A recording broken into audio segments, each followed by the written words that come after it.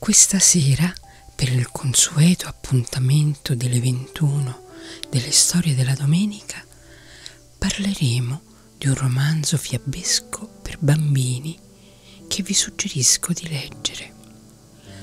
Pubblicato nel 1906, il libro nasce come libro di geografia per le scuole, ma è diventato un capolavoro in tutto il mondo. L'autrice è una scrittrice svedese, Selma Lagerlof, prima donna a vincere il premio Nobel per la letteratura nel 1909.